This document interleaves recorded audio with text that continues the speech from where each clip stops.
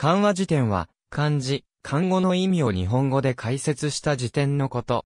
同種の辞典として、漢字辞典、漢語辞典などがあり、本校ではこれらについても言及する。文字ごとに、ピン音や、四世、音、古字聖句、難読地名、名付けなどといった追加情報を併記しているものも多く、ピン音作品から日本語の訓読みと音読みを調べる以外にも、漢字の中国語での発音を調べることにも利用される。漢和大辞典多くの漢和辞典は、漢字を部首によって分類し、部首の画数順に配列し、同一部首に属する漢字は、部首を除いた画数の順に配列する、部首配列によっている。多くの漢和辞典では、熟語は1文字目の漢字の項目に列記するが、2文字目以降の漢字の50音順に配列するのが現在では主流である。しかし漢字を50音順に配列する、実や漢字、熟語をすべて50音順に配列する、50音引き漢和辞典のように異なった配列を採用する漢和辞典もある。初の漢和辞典とされる漢和大辞典は、熟語を末尾の漢字の項目に記載している。もともと中国に漢字を部首によって分類して記載する書物があり、これを辞書と呼ぶ。日本でも、これに倣って、平安時代の天霊版証明義、新鮮な座教をはじめとする漢字辞書が作られた。これらの辞書が基本的に熟語を収録しないのに対し、近現代の漢和辞典は熟語を収録する点や音訓作品を備えている点が異なっている。漢和辞典は漢文読解を主な目的とした辞典と現代日本語の漢字、漢語の理解を主な目的とした辞典の二つに大別される。前者は要例に漢文を多用し、訓読文や現代語訳を載せることが多い。後者は漢文をあまり載せず、明治以降に作られた和製漢語も数多く収録している。購入層は、前者が主に高校生、大学生、一般、専門家向け、後者は主に高校生、大学生、一般向けとなっている。また、後者には、字数がやや少なめで挿絵を多く入れた、小中学生向けのものもある。収録字数はまちまちだが、小学生向けのものは、基本的に常用漢字や、人名用漢字を網羅した2000字から3000字程度で、学習しやすいように漢字の成り立ちや、豆知識を豊富な図版で解説したものが多い。漢字の学習が主であるため、漢和辞典ではなく、漢字辞典と題する傾向にある。中学生以上向けのものでは6000字から1万字程度で、表外漢字も豊富に収録している。一般向けの漢文読解を主な目的とした時点では1万字以上を収録しているのが普通である。近年の漢字をめぐる状況の変化により、収録字数は増加の一図をたどっている。1990年代からパーソナルコンピュータワードプロセッサで扱える第1、第2水準漢字を網羅する辞典が増え、補助漢字を網羅した辞典も登場した。2000年代には、表外漢字や座体表の制定や、人名用漢字の大幅増加、第3、第4水準漢字の制定などがあり、全体的に収録字数が大幅に増加した。2010年には、常用漢字の改定があり、これも小中学生向け辞典の収録字数が増加することにつながった。見出しとなる文字は、親字と言い、字体は伝統的な字体である、いわゆる後期辞典体によっているが、常用漢字などにより、広く通用する字体が伝統的なものと異なる場合は、そちらが優先されることが多い。その場合、伝統的字体は、旧字体として併記される。異体字は、俗字、略体や座、古字など、細分化して示されているものや、甲骨文字、金文、天書体など、複数の古書体を併記するものもある。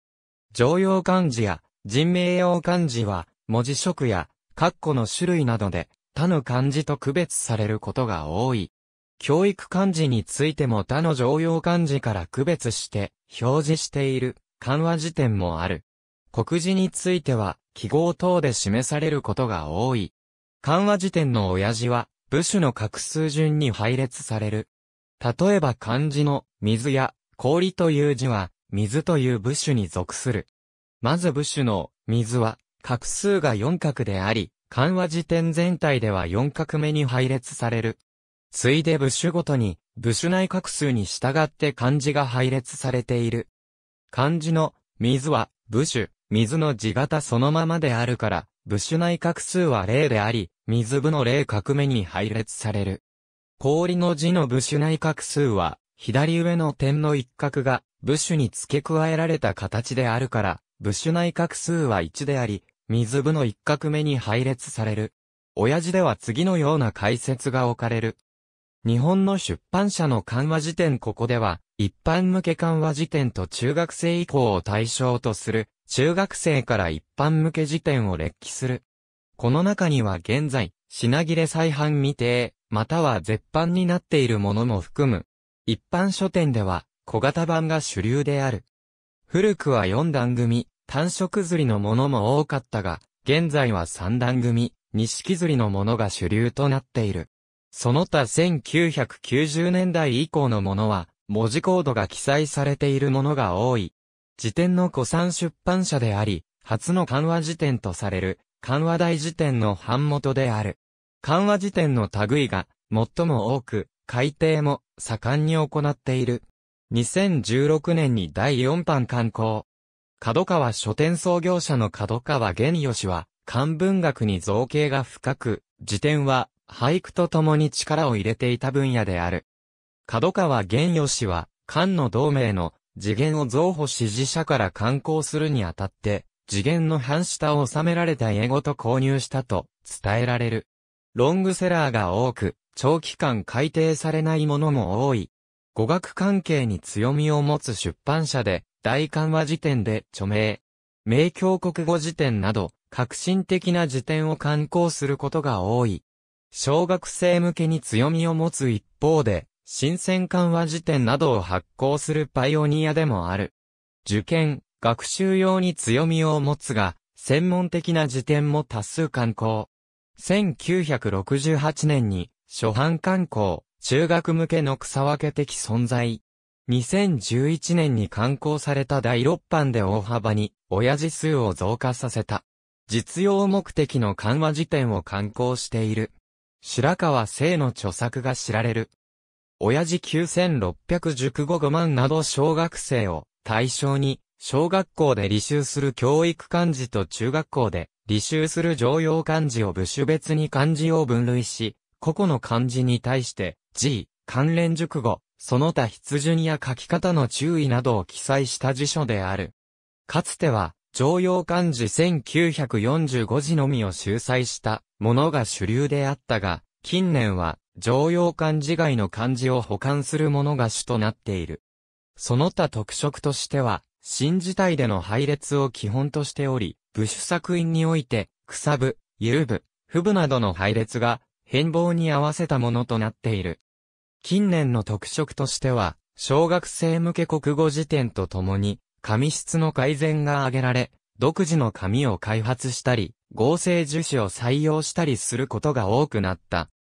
これは軽量化やページのめくりやすさだけでなく、深谷圭介が提唱した辞書引き学習法の普及も関係しており、従来の製本や紙質では多量の不戦調布に耐えられなかったため耐久性の強化も理由の一つである。その他、低学年でも読めるようにソウル日が常識化しているほか、古事生語や同訓維持の使い分けなど、コラム、補足が充実している。また、2020年現在販売を続ける小学館、ベネッセ、三省堂、学研の4社はいずれもオールカラー版を販売している。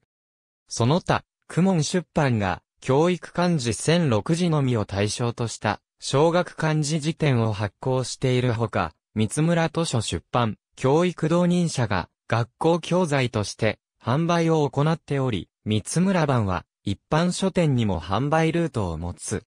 かつては、講談社からも学習新漢字辞典が定期的に発行されていたが、1998年11月を最後に改訂は行っておらず、2010年以降の改定常用漢字表多様のものは存在しない。その他、2003年に教材大手の日本標準が小学漢字学習辞典を1985年には角川書店が最新小学漢字辞典を1975年まで成文堂振興者が小学生の漢字辞典を刊行していたことがある。これらは国語辞典と対になっており、セット販売を行っているものがある。中国語実用会話入門 P23 の漢和辞典への説明、及川淳子、アスク出版漢和辞典とユニコード、角川文化振興財団 ABC 一般のお客様自称アプリどんぐり製品、イーストエデュケーションハット、角川新次元連載第4回誕生は、なんと1900年前。漢和辞典の凄すぎる歴史。